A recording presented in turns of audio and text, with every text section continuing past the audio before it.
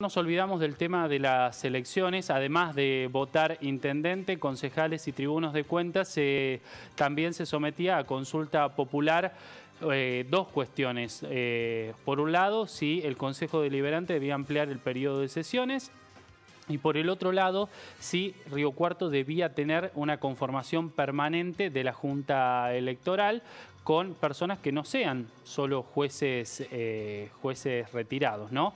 Bueno, ¿cuál fue el resultado de esa consulta y qué pasa a partir de ahora? También se lo consultamos al secretario de la Junta Electoral. En, primer lugar, cabe aclarar que eh, la cantidad de gente que votó la bus, la boleta destinada a los cargos municipales, es prácticamente la misma que votó la boleta del referéndum hay un punto menos de votos escrutados en relación al padrón electoral, eh, un punto menos en relación a la, a la del referéndum. Eso es como dato de color, por decirlo así.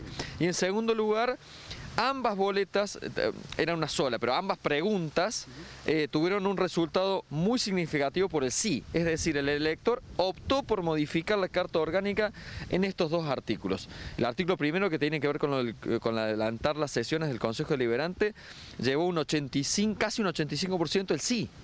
Y eh, el artículo que tiene que ver con la creación de una Junta Electoral Permanente tuvo un 65% por el sí, es decir, es muy marcado el sí por encima del no. En el caso del Consejo y las sesiones que este desarrolla, se estarían adelantando entonces al primero de febrero.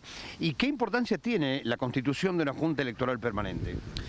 A ver, eh, la Junta Electoral tal como estaba conformada hasta ahora está conformada por jueces del Poder Judicial de la provincia de Córdoba, que en todas las juntas han desempeñado una labor eh, digna e impecable a mi, modo de ver. Em, no obstante eso, tener una junta electoral permanente que se va a sumar sobre lo que es la, justicia de falta, los jueces de falta administrativos, eh, va a permitir un trabajo continuo en distintos aspectos que tienen que ver con el proceso electoral. Por darle un dato, eh, el, sostenimiento de este padrón electoral y la creación de un padrón cívico municipal que permite una base de datos fundamental para lo que es la, Junta Electoral y el gobierno, propiamente el gobierno municipal.